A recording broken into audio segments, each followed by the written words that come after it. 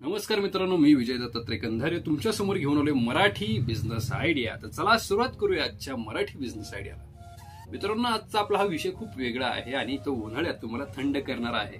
म्हणजेच आहे तो लिंबू सरबत. लिंबू सरबत हा व्यवसाय जरी तुम्हाला छोटा वाटत असला तरी तो तेवढा छोटा नाहीये. कारण त्यात भरपूर असा नफा आहे तो तुम्हाला माहिती नसेल. तो आज जाणून घेणार आहोत आपण आपल्या या वेगळ्या पद्धतीने.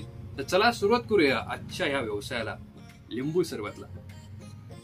आपण हा व्यवसाय समजून घेण्यासाठी टप्प्याटप्प्याने पुढे जाऊयात. म्हणजे पहिला टप्पा आपला असा असेल की हा व्यवसाय कोण कोण करणार आहे? दुसरा टप्पा असा असेल की हा व्यवसाय आपण कुठे करू शकतो?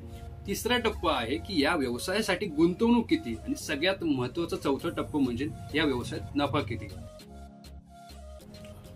तर पहिला टप्पा आपला असा आहे की हा व्यवसाय कोण कोण करू शकतो?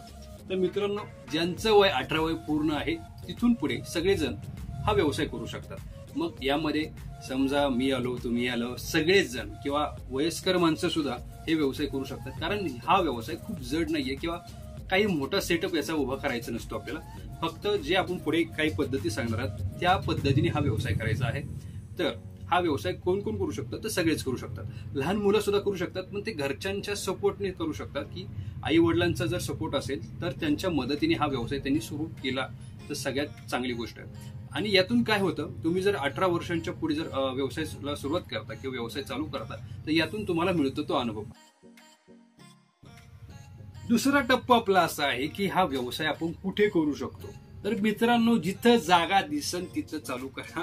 कारण विषय असा आहे की उन्हाचे दिवस एवढे कडक आहेत तर कोणालाही ताण लागते किंवा थंड पिण्याची इच्छा होते तर ते थंड तुम्ही तिथे अवेलेबल पाहिजे किंवा तुम्ही तिथे असलं पाहिजे जेणेकरून ते तुमच्याकडनं ते थंड घेतील आणि तुम्हाला पैसे देतील आणि त्यातून खूप चांगल्या प्रकारचा नफा तुम्हालाही होईल आणि त्यांचाही आत्मा शांत शांत होईल. तर असं एक तुम्ही कुठेही लावू शकता हा तुमचा सेटअप माझ्या मते तुम्ही जर गर्दीच्या ठिकाणी जर लावलात तर सगळ्यात भारी. कारण गर्दीच्या ठिकाणी तुम्हाला रोड कस्टमर बऱ्यापैकी भरपूर भेटतील. तुम्ही जर हायवेला जर हा व्यवसाय चालू केला तर हायवेचे कस्टमर तुम्हाला भरपूर भेटतील. तर असे अनेक स्पॉट आहेत किंवा असे अनेक गर्दीची ठिकाणं आहेत जिथे तुम्ही हा व्यवसाय चालू करू शकता.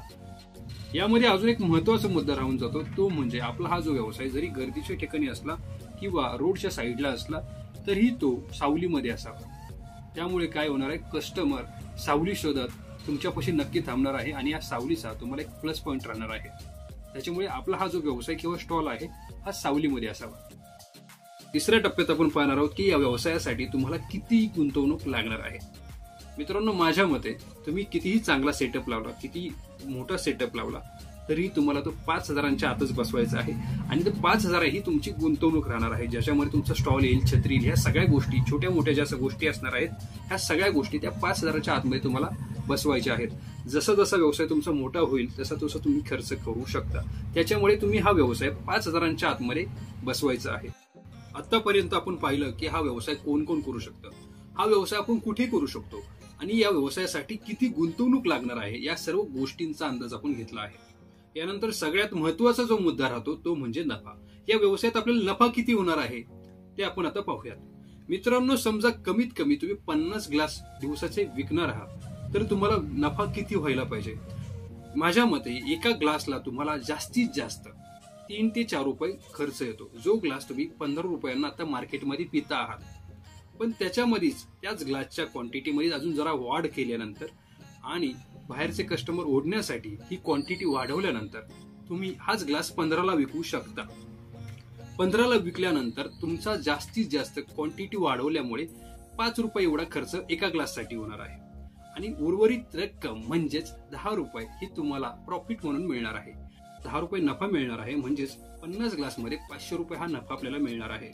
पण मित्रांनो हा नफा तुम्हाला पाचशे कमवायचा आहे किंवा पाचशेपेक्षा जास्त कमवायचा आहे हे तुम्ही तुमचं ठरवू शकता.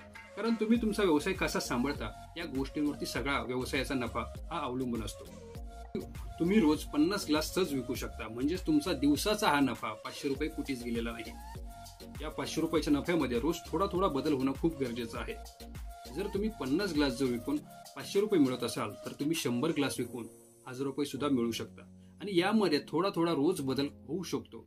आणि तुम्ही पन्नास ग्लासपासून रोज जिथं तुम्ही पन्नास ग्लास विकणार आहात तिथे तुम्ही दोनशे ग्लास सुद्धा विकू शकता. तर दोनशे गुणिले दहा रुपये म्हणजे दोन हजार रुपये नफा तुम्ही मिळवू शकता. तर यामध्ये तुम्हाला किती नफा मिळवायचा आहे हे तुम्ही तुमचं ठरवायचं आहे.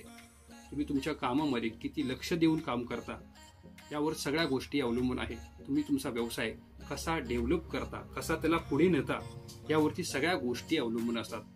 तुम्हाला तुमचा नफा किती मिळवायचा आहे हे तुम्ही तुमचं ठरवा. चॅनल लाईक करा आणि शेअर करा आणि सबस्क्राईब करायला विसरू नका.